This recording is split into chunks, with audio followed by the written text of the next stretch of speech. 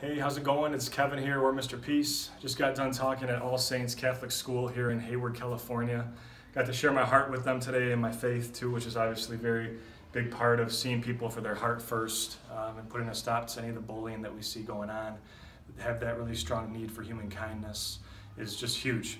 And so that's what I got to share today to the TK, all the way up to the eighth graders here at the school. They touched my hearts. Um, it was uh, emotional talk, but it was everybody, all ears, all eyes, and all hearts were just in this because it's such an important message that we need to get out there that we talk about hurt people that hurt people, but on the flip side, we can become healed people who heal people if we let Christ come in to heal our hearts. To see people for one race, human, see people as human beings before anything else, and like my hand says here, the M on all of our hands that's etched on our palms, M for miracle, M for Mary too, right? But upside down, W for worthy, that we see people as true miracles before anything else. And really always try to push kindness and choose this over anything because it says here, kindness in words creates courage. And so not only from when we do the words of kindness, but when they're done to us. So we know how it feels. We can become healed in our heart through Christ. Peace to you guys too.